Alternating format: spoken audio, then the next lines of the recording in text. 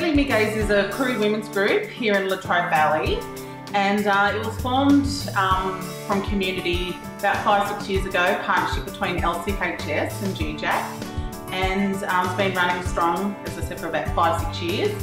So the last, um, for most of this year, we've been focusing on, the women have been wanting to uh, develop healthier lifestyles and uh, take care of themselves a bit more. So we've been focusing on healthy lifestyles, healthy cooking, um, exercise. So we've been running a Koori Women's Soup Day here at the Moe Church and today we are running um, one of those days. So we've got quite a few women here and we're making uh, healthy pumpkin soup and sweet chili chicken. And then the women will go home and um, hopefully take those recipe, healthy recipes home and yeah, feed the family, feed the mob.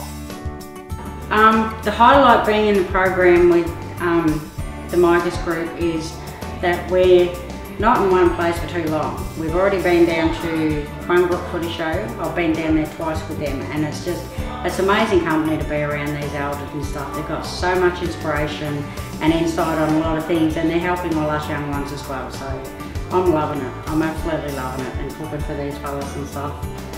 Um, it's important to me because it, we get to meet people and we get to learn the right foods and things to eat the healthy way. Oh, well, hopefully this um, meetings like this is um, getting through and helping the younger ones, you know, and if they want to talk about anything, yeah, we, all the elders and everyone else here is there to talk to them. We talk about uh, the healthy meals and and that's good because, um, well, you like to see everyone healthy and, and the younger ones giving the, their kids, you know, the healthy food. Oh, it's been good. It's been good to get out and enjoy what you eat and all that. And the meal's been good and I take you all sorts of different things. Um, they come around and they pick us up if we haven't got our own transport.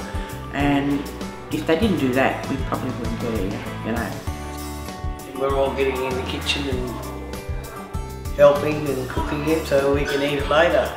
A nice healthy lunch. We're learning how to eat all the right foods and not the wrong foods because it's been going on for too long. We're eating the wrong foods and everyone's getting sick and all fatty and heart and stuff like that and it's not how we want our elders to be. We want them to be healthy so they've got a longer life and more stories to tell the, the younger generation. I've been doing healthy eating for a long time so yeah, just the, the uh, trying to cut out the fats and you know, eat the fruit and yeah, the healthy meat, healthy meals, and yeah,